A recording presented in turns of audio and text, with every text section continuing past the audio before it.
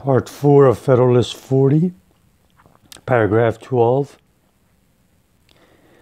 The truth is that the great principles of the Constitution proposed by the Convention may be considered less as absolutely new than as the expansion of principles which are found in the Articles of Confederation.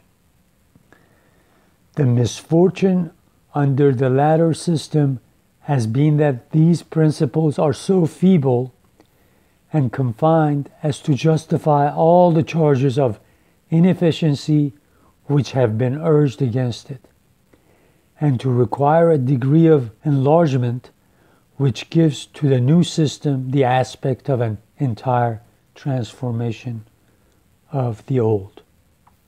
In one particular, it is admitted that the convention have departed from the tenor of their commission. Instead of reporting a plan requiring confirmation of all the states, they have reported a plan which is to be confirmed and may be carried into effect by nine states only. It is worthy of remark that this ob- objection, though the most plausible, has been the least urged in the publications which have swarmed against the convention. The forbearance can only have proceeded from an irresistible conviction of the absurdity of subjecting the fate of 12 states to the perverseness or corruption of a 13. Remember, I showed you this fact on Federalist 40 Part 1. Let me finish this and uh, then I'll explain some more. From the example of inflexible opposition given by a majority of one sixtieth of the people of America to a measure approved and called for by the voice of 12 states, comprising 59 sixtieth of the people. An example still fresh in the memory of in the memory and indignation of every citizen who has felt for the wounded honor and the prosperity of this country.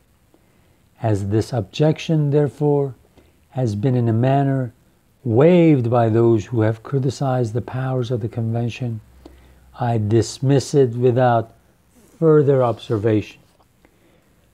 Here, he says the critics are saying that this new constitution goes into effect, starts working only when nine states ratified and accepted, whereas under the old constitution, it had to be unanimous. Every state had to say yes. And Madison says exactly. This is what has been preposterous about our Articles of Confederation. Every time we want to do something important for the country, one state can stop the whole work. One state, like Rhode Island or Delaware, that are only one sixtieth of the population of the nation. And 12 other states have to suffer because one state doesn't want to go along. He says we had to change that.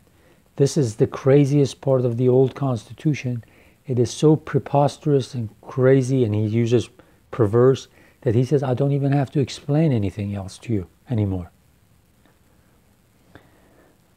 The third point to be inquired into is how far considerations of duty arising out of the case itself could have supplied any defect of regular authority. In the preceding inquiries, the powers of the convention have been analyzed and tried with the same rigor and by the same rules as if they had been real and final powers for the establishment of a constitution for the United States. We have seen in what manner they have borne the trial even on the supposition it is time now to recollect that the powers were merely advisory and recommendatory, that they were so meant by the states and so understood by the convention, and that the latter have accordingly planned and proposed a constitution which is to be of no more consequence than the paper on which it was written, unless it be stamped with the approbations with the approbation of those to whom it is addressed. This reflection places the subject in a point of view altogether different and will enable us to judge with propriety of the course taken by the convention. Let us view the ground on which the convention stood. It may be collected from the proceedings that they were deeply and unanim- unanimously impressed with the crisis, which had led their country almost with one voice to make so singular and solemn an experiment for correcting the errors of a system by which this crisis had been produced. These people got together in the convention, is where they loved their country. They had seen what a serious situation the country was in. So when they got together in this convention, they had to come up with the best system possible. They didn't want to sacrifice what was best for the whole population of all the states and just look at what was best for their own states or for their own community. That they were no less deeply and unanimously convinced that such a reform as they have proposed was absolutely necessary to effect the purposes purposes of their appointment. It could not be known, it could not be unknown to them that the hopes and expectations of the great body of citizens throughout this great empire were turned with the keenest anxiety to the event of their deliberations.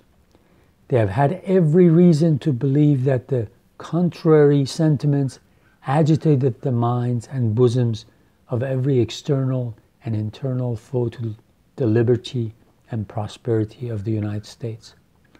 They had seen in the origin, they had seen in the origin and progress of the experiments the alacrity with which the proposition made by a single state, Virginia, towards a partial amendment of the Confederation had been attached to and promoted.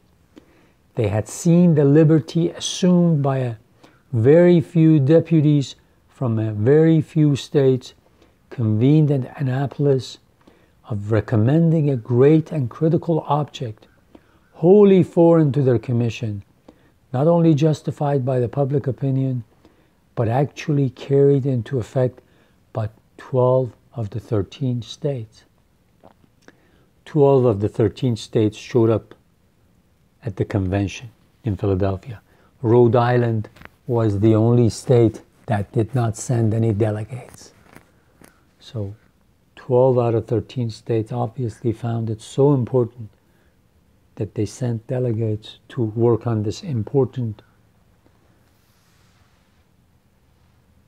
project and give us a constitution. Continues, they had seen in a variety of instances assumptions by Congress not only of recommendatory but of operative powers warranted in the public estimation by occasions and objects infinitely less urgent than those by which their conduct was to be governed.